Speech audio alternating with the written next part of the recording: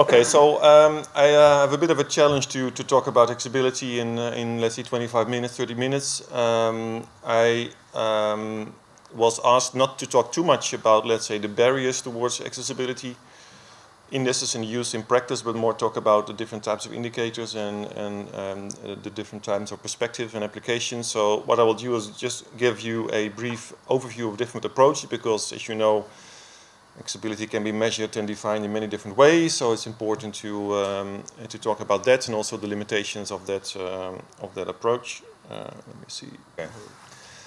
Okay, so I'll just um, highlight the different uh, uh, perspective to measuring accessibility, and um, I will start with a, a, brief review of the both theoretical and the practical strengths and weaknesses of applying different indicators, um, or metrics, or indicators, uh, whatever you prefer as a term. Um, and then focus a little bit about uh, how useful they are in economic and social evaluations, and then look at some of the conclusions.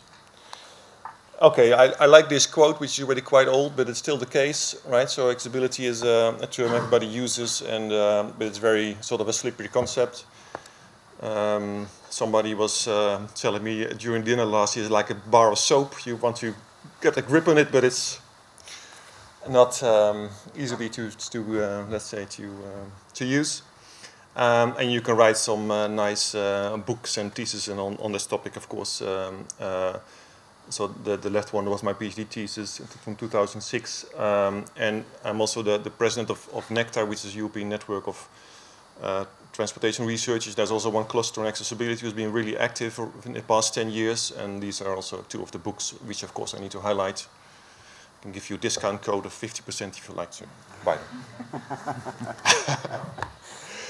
Okay. Um, yeah, so what I, I usually tell to um, uh, to practitioners is um, um, yeah there's more to accessibility than just speed right? So I like this quote from uh, Gandhi there's more to life than just simply increasing a speed. A lot of lot of specifically transport engineers and transport planners. I also, I also teach in civil engineering so this is what I also tell my students. It's not only about speed. Right so um, before I start talking about accessibility, I need to, of course, define what, what, what is, uh, in my, my opinion, what it is, the concept, right? So I think it's an indicator um, which uh, can be used to study the impact of, of land use and, and transport developments or policy plans. And for me, fundamentally, it has to relate to the role of transport in society, right? So when the role of transport is, is not to get you from A to B in the fastest way, uh, so not about only speed, but it's actually giving you or individuals or companies the opportunities to participate in activities. Right, so it's an enabler um, for um, activities, uh, participation in activities. So um, then you end up with a definition like accessibility is uh, the extent to which the land use and transport systems enable groups or individuals to, uh, to reach destination or participate in, in, in activities by combination of modes and at various times of the day. Right, so this is a much broader concept than um, just looking at uh, the fastest way of getting from A to B, or the cost of traveling from A to B, or the utility to get from A to B.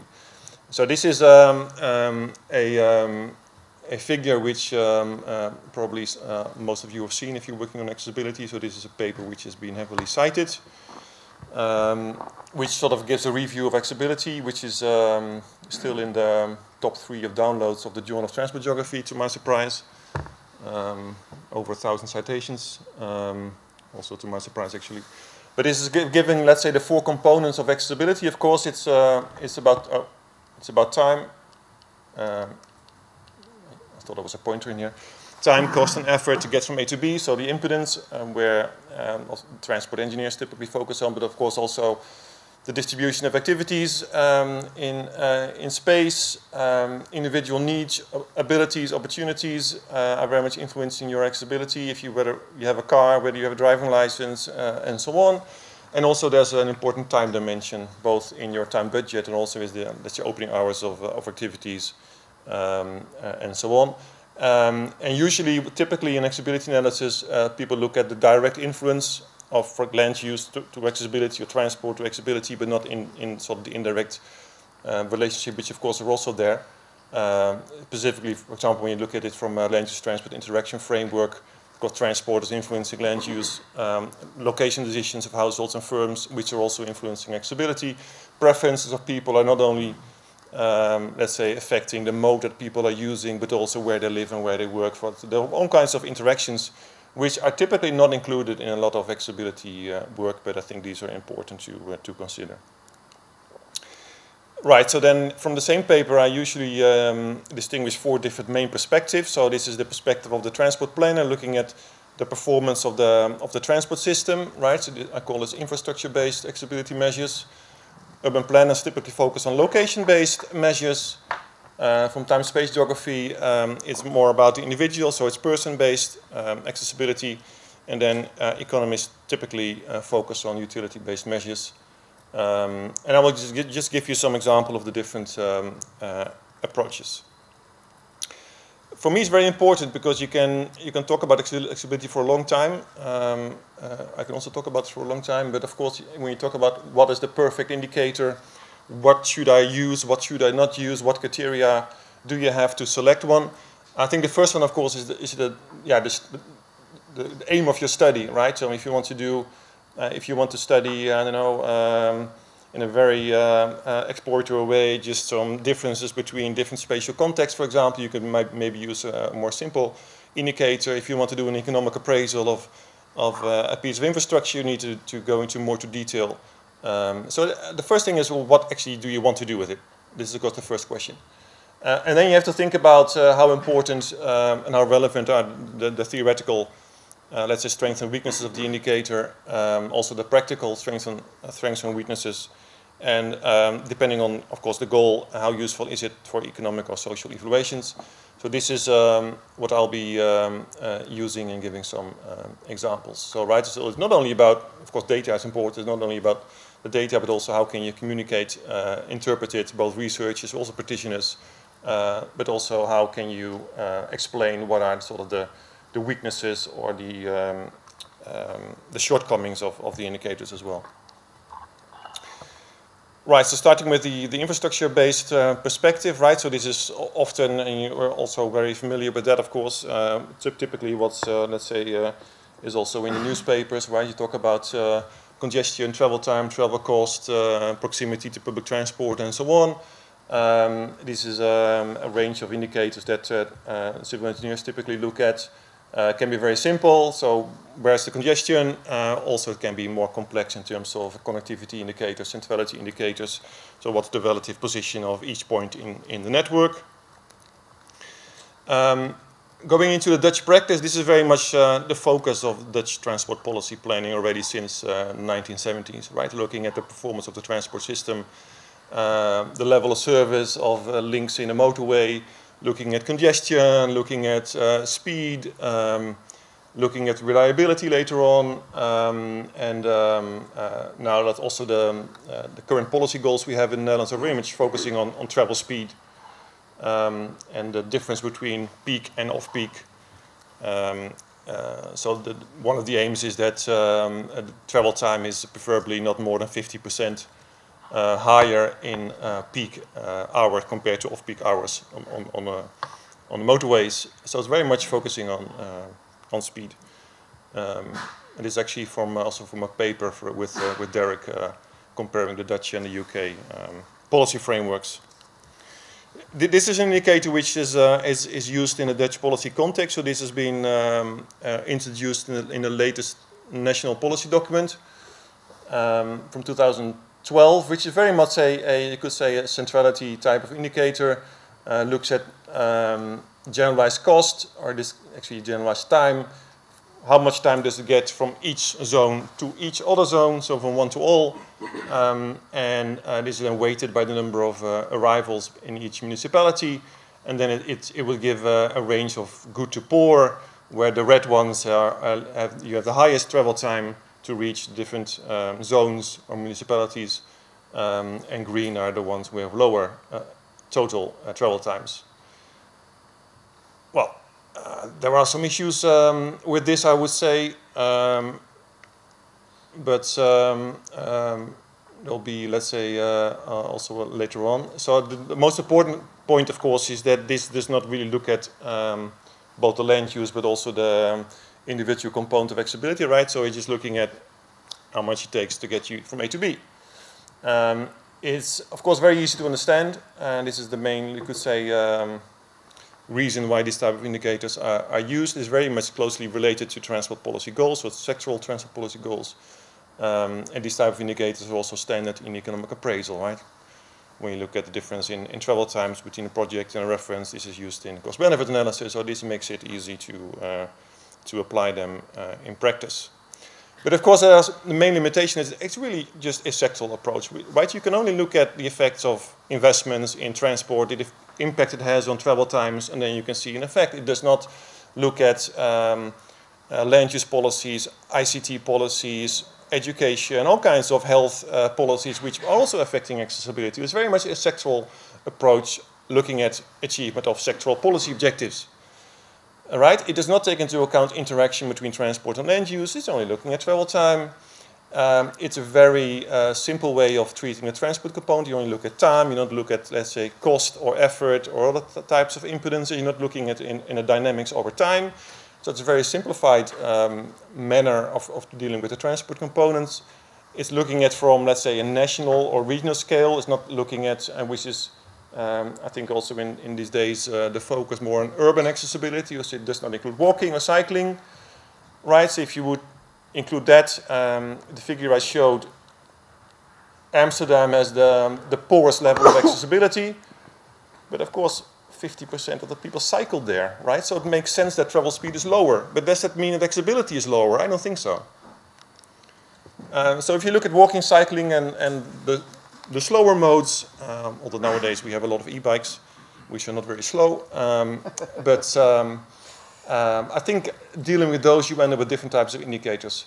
And of course, there's also no attention whatsoever to equity and, and social justice or distributional effects.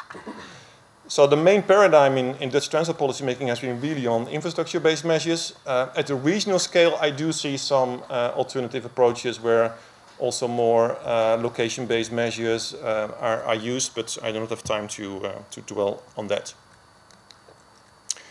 Right, um, moving into the uh, sort of the urban planners perspective, so location-based measures, so there's a whole wide variety of indicators, also which also is in the papers that will be presented later on.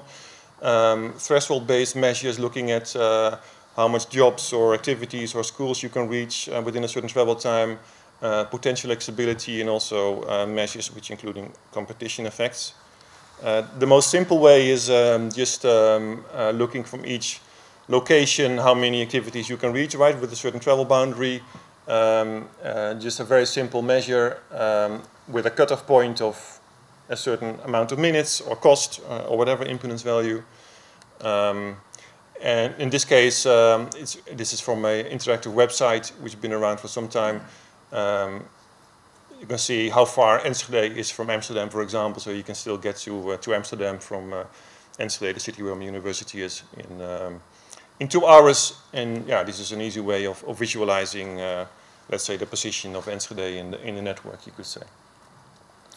Of course, this is a very simple way, so there's a, a lot of disadvantages from a theoretical point of view. It's not very strong. Uh, how do you set the, the this, um, this maximum travel?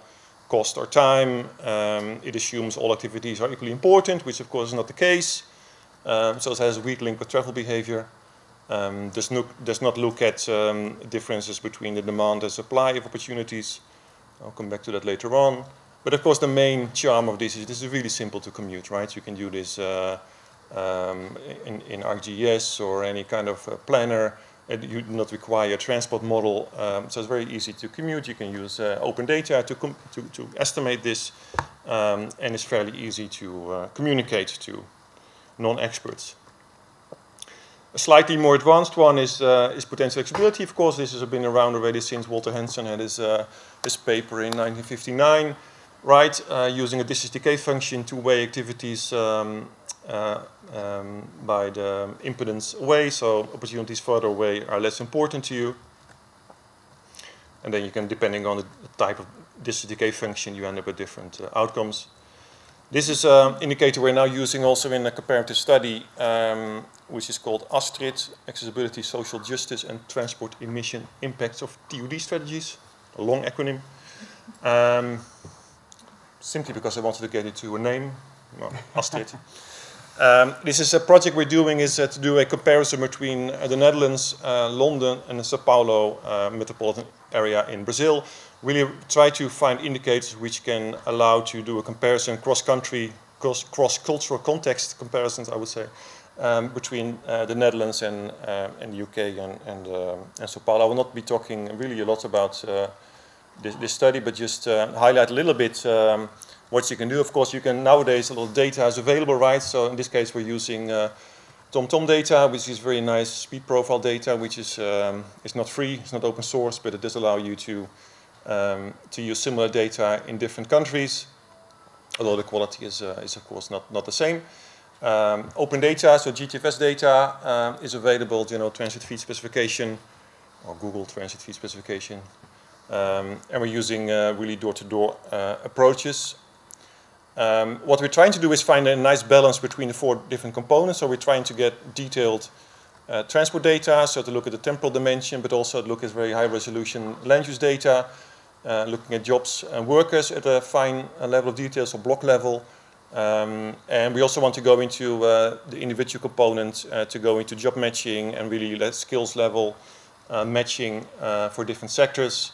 And for that, we're doing a, uh, a survey which we just finished in the Netherlands and still running in, in Sao Paulo and starting now in London to look at how much transport is actually a barrier to, to reach uh, jobs and how do, do different perceptions and barriers uh, actually affect um, job accessibility.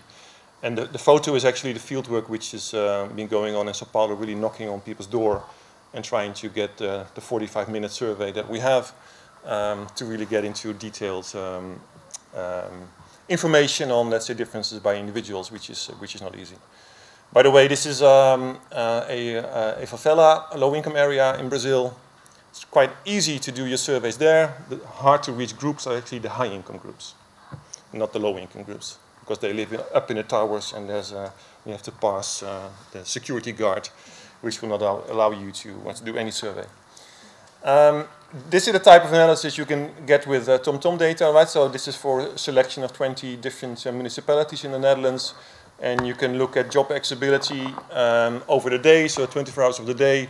And you can see, so this is for 2014, um, which is still, the, let's say, the, uh, the peak of the crisis we had. So um, the picture of 2016 would be a little bit different, I think. You can see the, um, the rush hours, which are 30, 40% um, uh, lower job accessibility levels uh, but I think the most important thing is that um, the order of the cities does not really change over time, right? So Amsterdam and also Utrecht are, um, you could say, the best accessible according to this indicator, not, not according to the indicator which is used in transport policy making, right? You remember the, the figure I, I showed. Um, and the order does not really change um, because of congestion in, in peak hours. So I think that so the spatial component is actually dominating the outcome, which is quite important. With um, the nice uh, GTFS data set we have, we can run a similar pattern with transport. Um, it's, uh, of course, there's not much public transport during the night, so at 6 o'clock in the morning um, it starts operating, and then um, you see, depending on the spatial structure, also Amsterdam is the highest level of extra jobs by public transport. Um, and uh, also the order does not really uh, change uh, over time, which I think is also quite interesting. So again, also public transport, and I would say even more important for public transport, the spatial distribution, in this case of jobs, is really dominating the, uh, the effect. Um, and you see the peaks are because uh, of, the, of the timetable effect. So we're running every five minutes of the time we, we are running this, uh, this simulation. Um, we looked at the difference between um, having the bike, of course. Um, I'm not an activist, but I, I do ride a bike every day. so I do focus on the bike. Um, so this is, um, uh, let's say, according to you could say um, the timetables, um, walking ride to walking to a bus stop, bus stop to train, and then continue to work. Um, if you add the bike in a Dutch context, so this is uh, different times of the day, you can see um, a big effect uh, increasing accessibility to jobs by over 50%, simply because the bike is in most cases faster than walking and bus um, to a train station. Also, 50% of the train users in the Netherlands, they go to the train station by bike, so it's really important. Um, could also say, well, because they do that, because we cycle a lot, quality of public transport in the Netherlands as a local transport is not, not always as good, so uh, there's also a competition effect here, of course. But um, So I think uh, building in also the role of the bike is quite important in these uh, comparative studies. So I also have some, some pictures, but I'm not showing it here for, for Sao Paulo and also for London, but I don't have the time to, uh, to go into there because then I will need uh, at least an hour. Uh, and I don't, don't, want to bore you with that. Um, so this was uh, very simple, let's say just looking at uh, an origin, how many activities you can reach, right? Um, but um, this is not taking into account uh, competition effects. When you talk about, let's say, health, education, but also jobs, of course, there cannot be multiple person living uh, or using the same bed in a hospital, right? So there's one bed for one person at the same time. So you have to take into account that uh, people are competing for the same level of access to a general practitioner, to a hospital bed, or to a school, or, or whatever. So you have to take into account uh, competitors who are competing with you to access the same activities. In the 1980s already, um, uh, Joseph and Bantock were studying uh, general uh, practitioners' accessibility, uh, very simply uh, just looking at how many uh, doctors you can access and then how many competitors you have who also have that same doctor within their catchment area. And then you have a ratio between um, the amount of doctors and the amount of, of people. So you can do the same with jobs, um, for example. Um, of course, this is not taken into account. so this is from each region how many people or doctors or jobs you have, uh, your competition, but of course your competition also has other uh, activities or uh, doctors within reach. and if you want to um, analyze this in a more interactive way, you end up with uh, the spatial interaction model, and then you can use the, um, the balancing factors, which are sort of controlling for the, uh, um, the trips um, in the network uh, as an indicator. And just as an example of that, uh, this is going back actually to uh, my PhD, looking at potential accessibility and this uh, balancing factor, including competition effects for jobs. You can see that, um, of course, in the major cities like Rotterdam and Utrecht, there are a lot of jobs, but there are also a lot of competitors for those jobs. So if you, if you control for competition, the overall accessibility level is much lower. Um, specifically for public transport, and this is mainly because not so many jobs are in close proximity of public transport. The competition actually is, is quite, uh, quite important. But at the same time, in a Dutch context, this is not really changing, you could, uh, you could say, the overall um, uh, spatial structure of accessibility. Um, but this is something to uh, specifically, um, when you look at equity concerns, to uh, look into the competition effect. Right, so uh, very briefly, spatial interaction modeling, modeling and the potential accessibility measure, of course, is, um, let's say, the main theoretical uh, underpinning of these types of measures. Um, well, it's known that these are also compatible with the multinomial logit model. Um, it, the, the, nice thing is that, of course, it explicitly um, incorporates the land use component, so you can use it for transport, land use, integrated land use transport policy planning, which I think is a very strong point for this indicator. Um, the downside, or I could, could, say the weakness is that it's usually estimated at a high level of aggregation, so access to all jobs uh, for all people. So it lacks the uh, heterogeneity in, in, needs, preferences, and so on. Um, the standard potential accessibility also does not include any competition effects, but there are some um, advanced measures for that. Practical, of course, is also easy to measure. You don't necessarily need a transport model to do that. You can also run this uh, with ArcGIS or other, other tools or a spatial interaction model It's fairly easy to interpret, although the measure with competition become a little bit more complex. And um, yeah, limitation that the index itself does not have, have, a real meaning, right? Because it's an index, it's weighted by distance, so it's, it's not, let's say, um, a real value in cost or benefit or activity values. Uh, I will not dwell so much on the, the third perspective, so the, the person-based uh, measure. Um, essentially, it's, it's really um, um, focusing on the, the temporal dimension, right? So on the, the constraints that people have, both in time and also in, um, let's say, spatial and, and organizational uh, constraints, the travel budget that people have. Um, and then you're typically into space-time prisms, or let's say if you map it in a flat surface, you're into uh, potential path area analysis which is, um, uh, is quite uh, interesting from an academic perspective, of course, because it's quite comprehensive. It does take into account transport, the land use, and individual and components in a temporal component, although that is usually not uh, very detailed. Um, it's very much focusing on interpersonal differences. Um, also, there have been some uh, sort of hybrid uh, utility-based, person-based measures, uh, combining uh, also with, the last perspective. I've not seen any uh, person-based measures uh, who have included competition effects, so I think that is uh, something to um, would could be potentially be interesting. Um, of course, the, the main downside is you need a lot of data at the individual level to measure accessibility at the in individual level. And it's very uh, not so easy to aggregate this um, from the individual to, let's say, um, um, a group or, or, a specific location. So visualization, communication is, uh, is an issue with person-based measures. Right, so then the, the last perspective, um, you could say is typically the economist perspective, looking not so much as accessibility, but how much, let's say, benefits that, that you can derive from having access to uh, spatially distributed activities. Um, depends a bit on the type of modeling framework and the method that, that you can be used. So if you're into spatial interaction modeling, um, there are some approaches for that. Um, um from Martinez, uh, I also applied that in a paper in my PhD.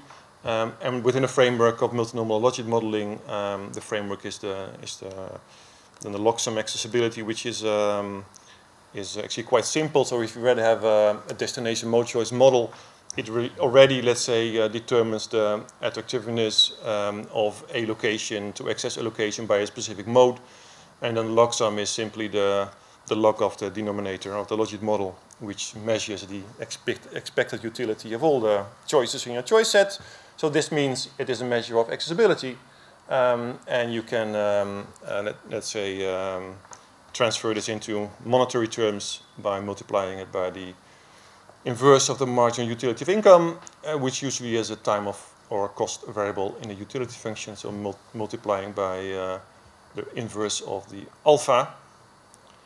Um, and one example, I will not go into details, but uh, what is interesting that if you, if you look at it from a, a, a spatial planning uh, or integrated spatial um, transport planning perspective, um, it does allow you to, to estimate the benefits in terms of euros or dollars of also spatial planning uh, strategies.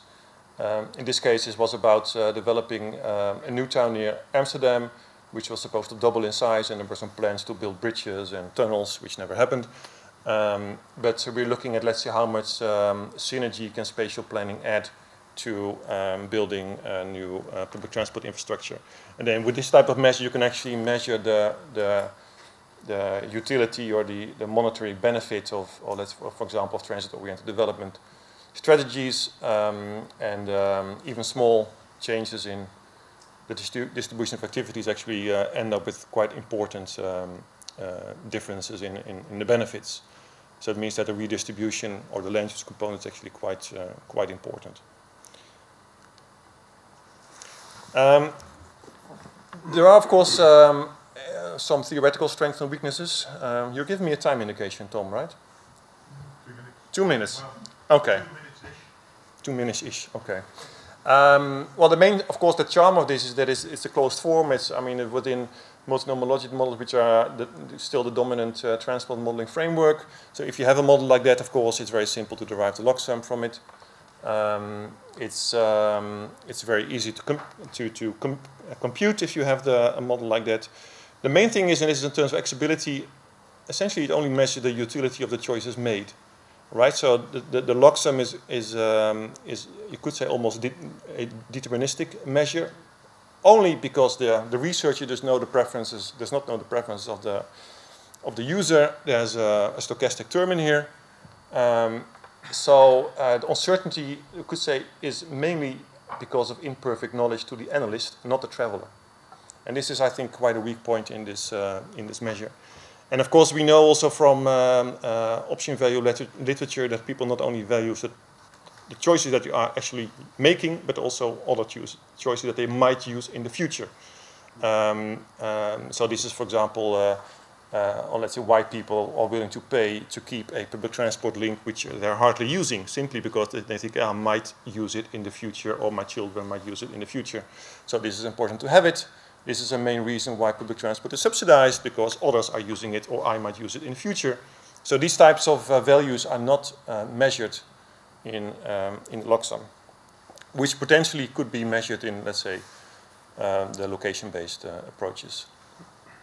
well, the, the practical strength is, uh, I mean, of course, it's uh, more difficult to, to measure, estimate. Visualization is also more, more difficult. Um, uh, although I find that um, it can be quite easily explained because not so difficult to explain money to practitioners. Um, okay, so um, when you also look at comparative studies, uh, you'll find that so this, this whole variety of indicators, they all have the strengths and weaknesses, right? Um, and um, most indicators, they simply reflect different dimensions of accessibility. So meaning that the search for the best indicator is quite futile, I think.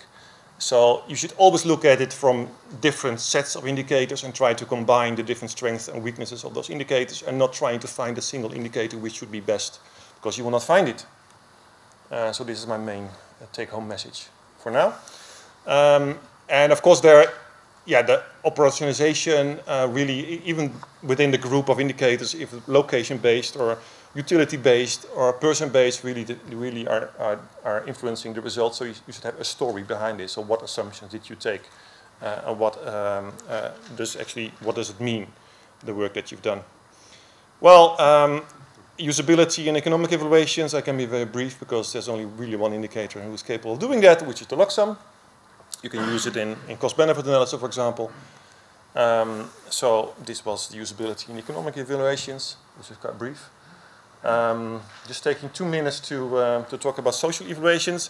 I think this is a growing field of research, which I think is really important, um, looking at, uh, let's say, moving beyond sort of distributional analysis really into equity-based um, accessibility analysis. So that means you move beyond just looking, yeah, what are the spatial or the temporal uh, differences um, in accessibility, but actually looking at what is fair or what is unfair. And then you have to go into the, um, the isms uh, theories.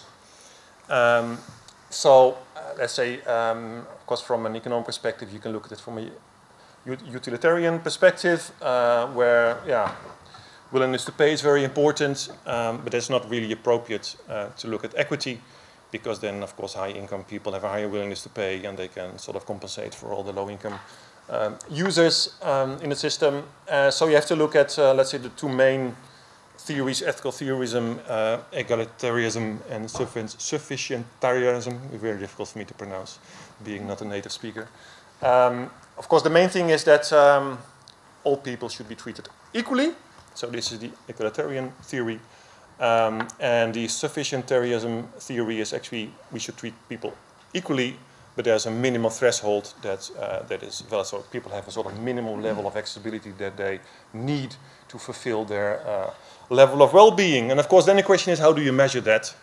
And this is, I think, still a struggle that we find in the literature. Uh, I think this is really important to look at it. It needs more work. Uh, for me, it means that uh, we look at equity-based measures um, you can throw away the infrastructure-based measures because it's not taking into account uh, most dimensions of accessibility. Um, competition effects become more important because you have to look at, uh, for example, health, uh, social services, so you have to deal with competition effect, which is not yet done in the literature, looking at um, uh, equity-based accessibility. So this is something we're now working on um, and also in the ASTRID project. Uh, monetizing accessibility is inherently problematic uh, because then you end up with willingness to pay issues and difference between low and uh, high income people. Um, and uh, also, I think what, what is uh, interesting is that essentially when you look at more the advanced accessibility measures like person-based, utility-based measures, they really are focusing on interpersonal differences, right? To measure all the different groups by needs or income or um, but when you look at the sort of equity-based theories, everybody should be treated equally. So how to deal with these interpersonal uh, differences? Um, so you could argue that actually the most simple location-based measures like uh, potential accessibility or uh, the ones um, uh, dealing with competition should already be appropriate because they explicitly uh, ignore interpersonal differences, which essentially is part of the um, sort of the equity um, ethical theories. Of course, um, yeah, uh, you, you cannot um, uh, throw away all of the interpersonal difference, so there's, uh, I think, a minimal level of detail you would need to get into. But then the main, yeah, especially with the um, sufficientarianism, what is sufficient um, and how does accessibility affect well-being or welfare. This is an area I think which is still um, in need for some more research. There have been some recent studies, uh, for example, about life satisfaction, happiness, which I think is quite interesting. Um, that your overall level of happiness is decreasing with your commuting time, specifically by car. But for the Dutch, we are more happy if we cycle. um, so actually happiness is increasing when the commute is by bike or by foot. So this was from a Dutch survey, uh, from a, uh, a really nice survey on happiness, um, from a recent uh, paper from this year. So I think looking at this from an equity perspective could be quite uh, interesting, um, which is, uh, but of course you need data on, on happiness and well-being and so on, but this is I think a nice uh, area for future research as well. So you could say, well, the, um, the main uh, conclusion is there are many different approaches. Summarizing it already in 20 minutes is, uh, is not so easy. 30 minutes. Um, but you see there's a strong trade-off between, let's say, theory and practice, right, and the weaknesses and the strengths. Um, it's very important to realize that your definition, but also your operationalization and how you treat the different components of accessibility is very much influencing the results and the outcomes and the conclusions and even the problem perception you're giving. Uh, so this is something to, to really be um, uh, focusing on in any accessibility study. Um, and of course, yeah, any choice of indicators depends on the study aim and, and, and how you deal with these uh, trade-offs and the strengths and weaknesses. The Dutch practice is, um, is um, in my perspective, still quite uh, unsatisfactory uh, because it's focusing on the traditional transport planner's perspective um, and not a, a broader um, uh, perspective. Um, typically, a combination of measures works better than finding um, the best one. I would argue that location-based measures are uh, maybe more, even more appropriate um, to study equity-based accessibility than um, the more, let's say, advanced person-based or, or utility-based uh, measures. Um, and there's, uh, I would say, a, a, need to, to look at more into this uh, equity-based uh, accessibility measures um, to work on more um, studies to how to implement that in actually in practice and also in decision making. So I did not go into detail about how useful are these approaches in, in practice or how to get them implemented, but um, there'll be other presentations uh, on that. Thank you for your attention.